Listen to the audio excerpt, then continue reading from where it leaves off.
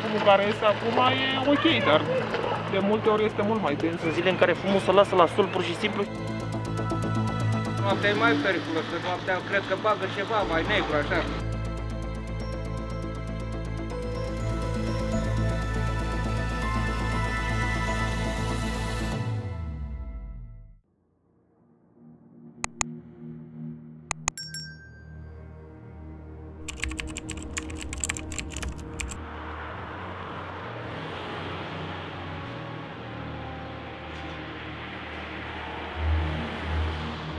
Ați auzit vreodată de oameni care se plâng de mirosul de fum foarte Bă, da, puternic? este fum rău, mai ales noaptea. Sunt momente când burgează pe acolo ceva, nu știu ce, iese de vine așa un miros, uh, dar nu, nu tot timpul, când bate vântul așa cum Nu poți să ții un geam de sus la bucătărie.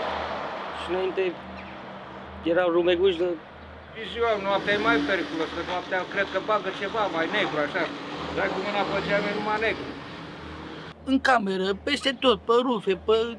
aspirăm numai, mai praf, numai rumecuș amestecat cu fum, amestecat.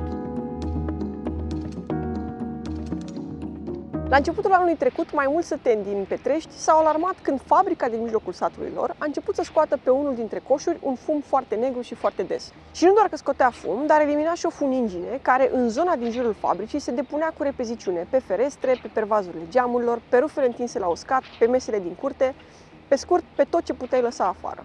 Situația persistă și în prezent. Asta deși reprezentanții fabricii le-au transmis oamenilor încă de vara trecută că problemele au fost remediate.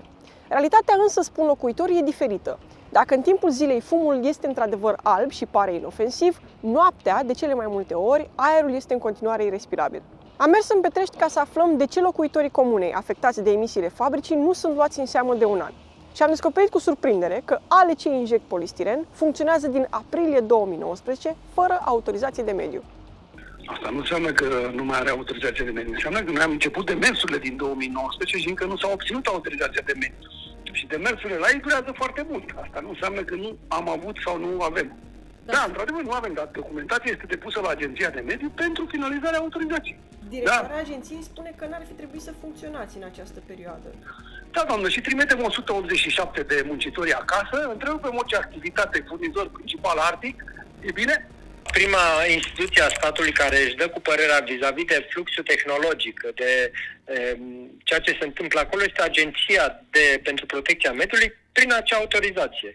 Dacă nu corespunde din punct de vedere al, al mediului și al normelor privind poluarea, respectiva tehnologie și respectivul agent economic nu va primi autorizație de mediu, e foarte clar.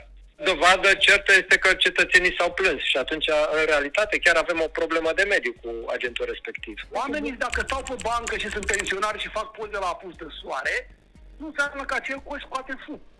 Nu știu ce li se pare lor că este fum, că nu este fum.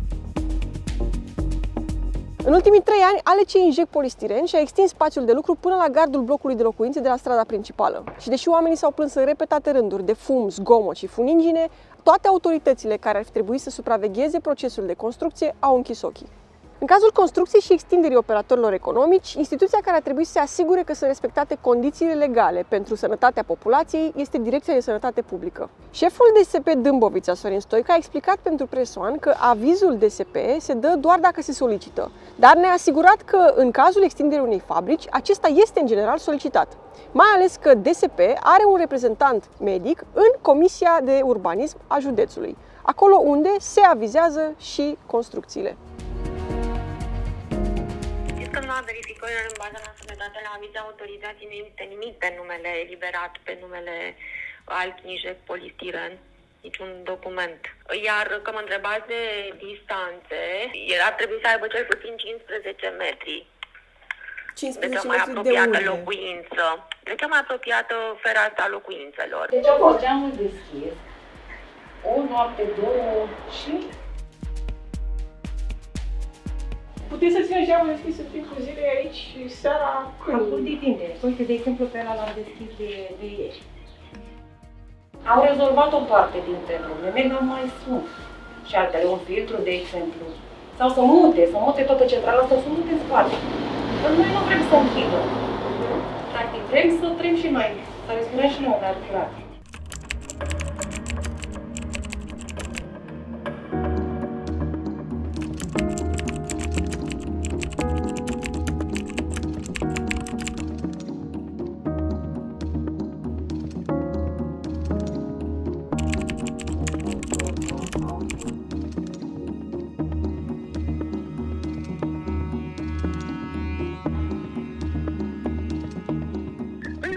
Agenția de mediu sau cu un aparat de testare a fumului și a pulberilor, la orice oră din funcționarea utilajului, veniți și măsurați. Uite, vă dau voie.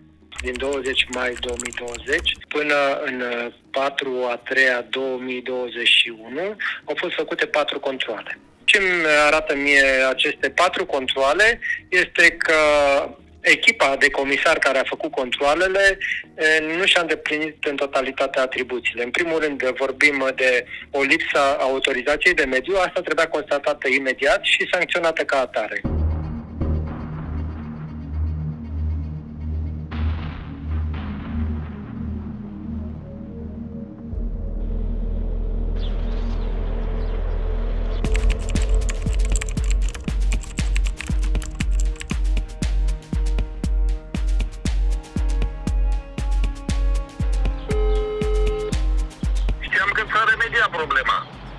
Oamenii spun că nu s-a remediat și că în continuare, mai ales noaptea, fumul este foarte puternic.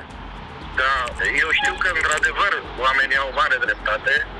Așa a fost. uh, Am mers de câteva ore, am discutat și au zis că erau în probe cu o nouă centrală, ceva de genul. Au fost și cei de la Garda de Mediu și ne-au asigurat că în cel mai scurt timp uh, vor remedia problema. Lucru constatat și de mine, că nu mai ieșea decât un fum alb, foarte subțire și nu am mai, sezi- n-am mai avut sezizări de la cetățeni. De ce ați dat dumneavoastră autorizație de construcție pentru un nou corp chiar aici în spatele blocurilor? Nu va... Vă întreb dacă e ceva care am făcut, uh, e ceva în regulă. Atâta vreau să știu. Păi, na, dacă e un cazan care scoate un... Ceva pe mine? Nu, eu vă întreb doar dacă v-ați gândit că ar putea să afecteze pe oameni, că este totuși o fac... calitate de primar vreau să dezvolt comuna. Da, dacă dumneavoastră considerați că eu am făcut ceva în neregulă, vă rog să mă acționați, da?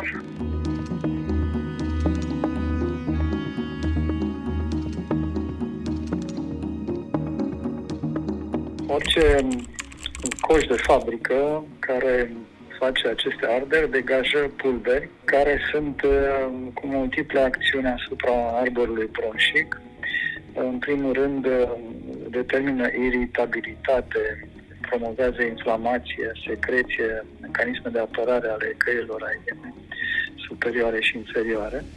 În al doilea rând, um, agravează și pot să producă exacerbări ale unor boli respiratorii obstructive, unde intră asmul, bronșita cronică și enfizemul pulmonar. Nu în ultimul rând, dacă între pulberi se găsesc și substanțe carcinogenetice, le numim noi, uh, ele pot induce în timp prin expunere repetate mitoze celulare, adică o mulțire a celulelor fără a fi controlate și poate să apară să inducă un cancer pulmonar.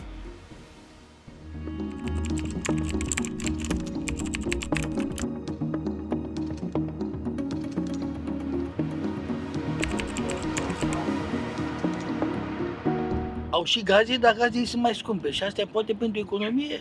Nu ne avem nică de bani să facă, să aibă ceva, un filtru, să nu ne deranjeze. Faptul că ei au găsit o soluție ca să-i coste mai ieftin este lăudabil, dar ea trebuie acum să fie de așa manieră aranjată încât să nu deranjeze cred că cei mai mulți sunt cei din zonă de acolo. Nu e bine că există pentru că avem uh, oameni angajați. Dar nu este normal ca un om, dacă este angajat acolo, să spună, domnul, n știți, mă deranjează, dar nu pot să spun, pentru că eu lucrez acolo, că am niște pri- uh, cunoștințe, prieteni care nu, nu locuiesc chiar în zonă. Și a zis, domnule, eu țin la locul de muncă, cartea de muncă, noi ne-am obișnuit, oamenii, uh, uh, oamenilor le este frică să-și piardă locul de muncă. Astăzi s-a încheiat un control acolo și s-a dispus o amendă în cuantum de 60.000 de lei și suspendarea activității. S-au constatat și unele nereguli la fața locului și și urmează să-și înceteze activitatea până la obținerea autorizației. Continuarea activității fără autorizația de mediu atrage de la sine plângere penală.